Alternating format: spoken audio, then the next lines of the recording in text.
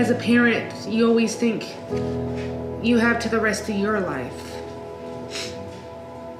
to make any wrongs you might have done, you know, as a parent or to make up for anything your children had to do without. And um, it really is painful when you no longer have that option.